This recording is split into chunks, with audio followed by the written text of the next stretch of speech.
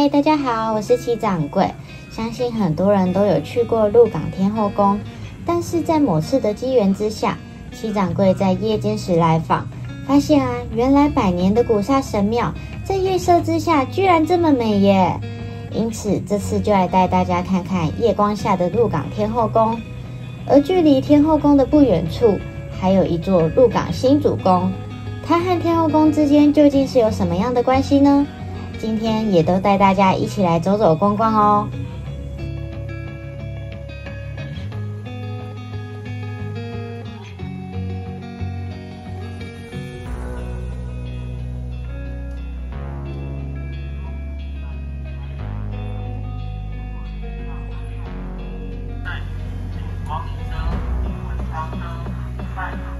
鹿港天后宫最早的历史可追溯至明朝建庙，所以距今已经有四百余年，是台湾最早奉祀梅州祖庙开基妈祖神像的庙宇，也是台湾历史最悠久、最灵验、香火鼎盛的妈祖庙之一哦。在陆续修建的过程中，历史上的商贾巨富施世宝和辜显荣都曾经参与。当然，施家和辜家本来也是鹿港的望族。在当地开枝散叶，甚至向外延伸。因此，现在如果你碰到了姓施或者是姓辜的朋友，有很大的机会，他们就是入港人。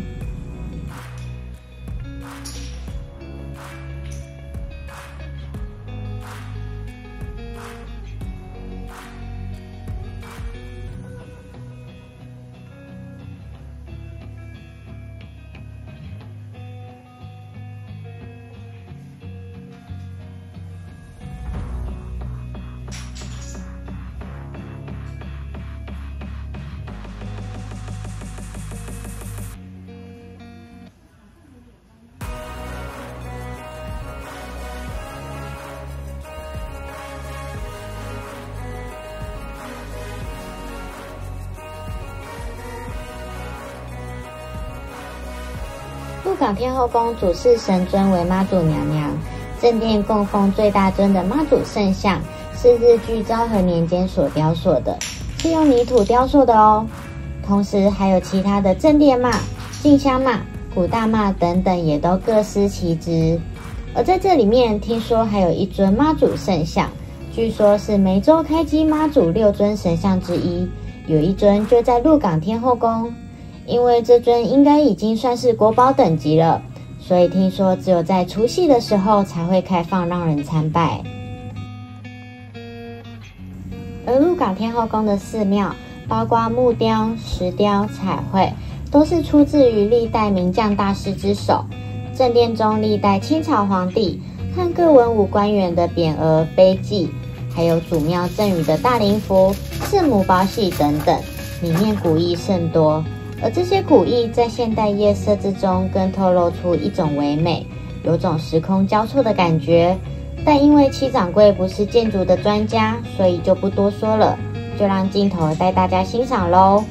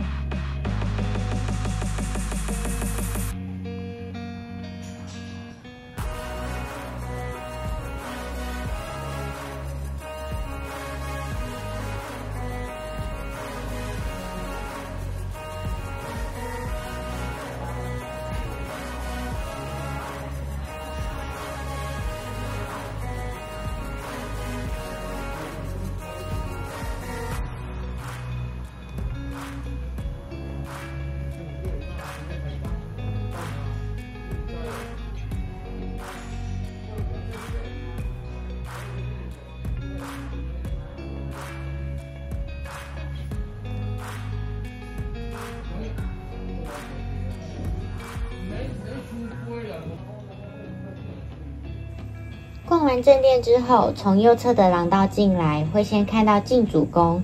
进主宫有点类似土地公，或是寺庙的地基主。现代应该就像是当地的派出所。天后宫位置这里，等于是它的管辖地区。而旁边这里还有好多全省分灵出去的妈祖，是作为妈祖回娘家休息的地方。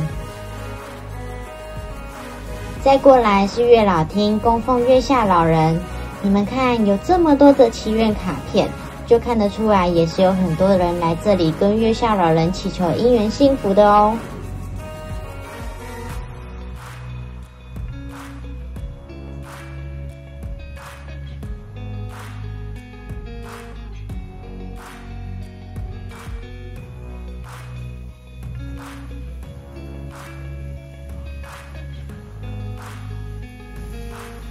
进到后殿，我们首先看到一楼有一座天龙池。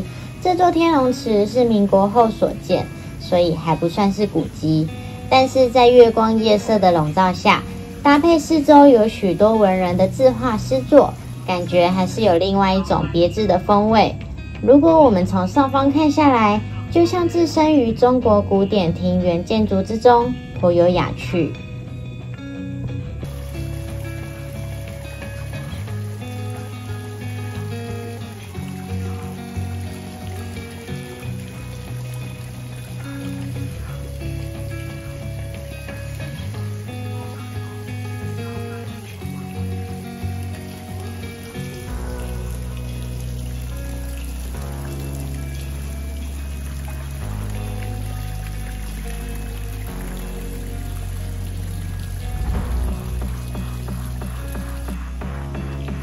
往上走，就看到拜斗厅，里面供奉斗老元君，还有南北斗星君，能够为我们消灾解厄、赐福天寿。在这里拜斗点灯的信众，真的也是非常多耶。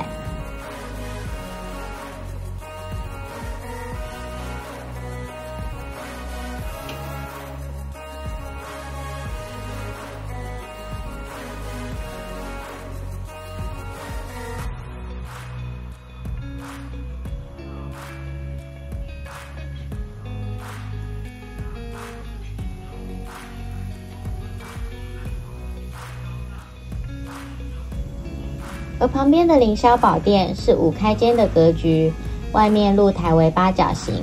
凌霄宝殿主祀玉皇大帝以及三官大帝，两旁配饰还有观音菩萨、五谷大帝、女娲娘娘以及水仙尊王等神尊。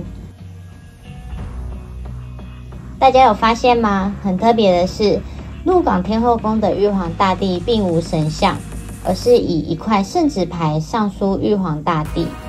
通常这样的方式代表着民间信仰中对此神尊的最高尊崇。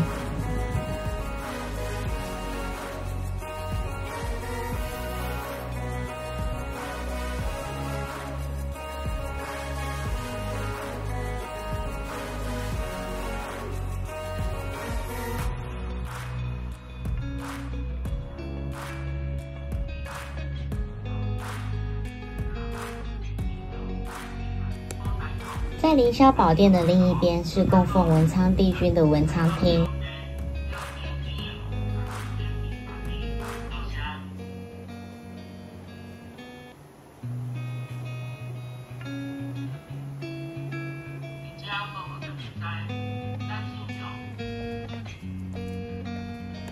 我们再往下走，在凌霄宝殿的下方是太岁殿。里面除了供奉六十太岁星君之外，也看得到在这里安太岁和点光明灯的信众非常多哦。鹿港天后宫虽然是古迹，但也有跟上时代的脚步，推出许多的线上服务，所以想要点灯、安太岁或者是求姻缘的信众，都可以透过线上报名参加就可以了，非常的方便。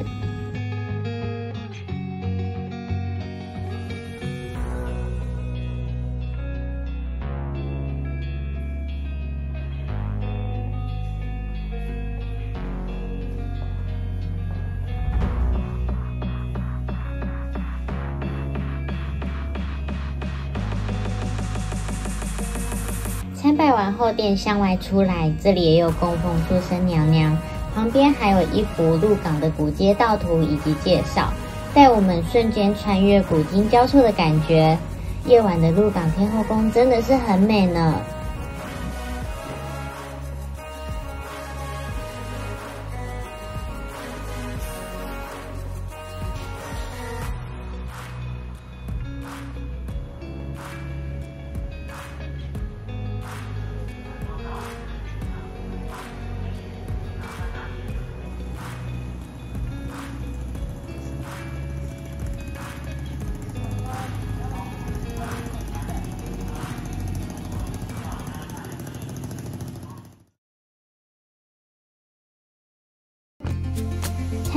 鹿港天后宫，我们又来到了白天的鹿港新主宫。而鹿港天后宫又称旧主宫，很多人可能都会有一个疑问：旧主宫和新主宫的关联性到底在哪里呀？其实啊，新主宫当初是因为林爽文事件叛乱平息之后，由清乾隆皇帝亲自下旨赐建。由于也是供奉妈祖娘娘，当地原先已有天后宫。因此就叫做新主宫，作为两者的区别。而新主宫最大的特色是由天子御赐建庙，是全台湾唯一官设的妈祖庙，具有重要象征的历史意义。同时啊，也因为是官设之庙，听说古代是只有当官的人才能入庙参拜，也因此庙前立有一座文武官员至此下马碑，提醒这些平日大摆场的官员。到这里还是要下马步行，以示对妈祖还有天子的尊重。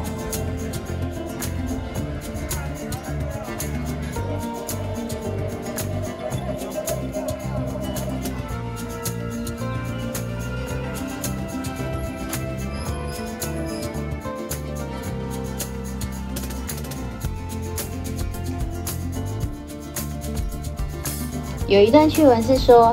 新主工程荒废多时，后来有人发现乾隆皇所赐的右记昭陵匾额，居然流落变成庙方人员的床板，于是他赶紧以新床板换来这个旧床板，并将匾额送至旧主宫保存。这也就是我们刚刚在旧主宫里所看到的那一块匾额。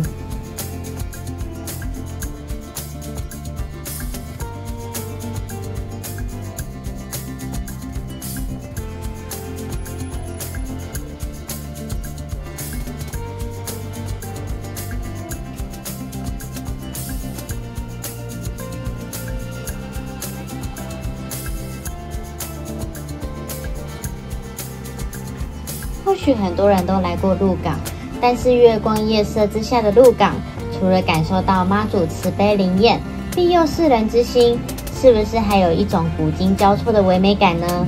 有机会大家也不妨一起来感受看看吧。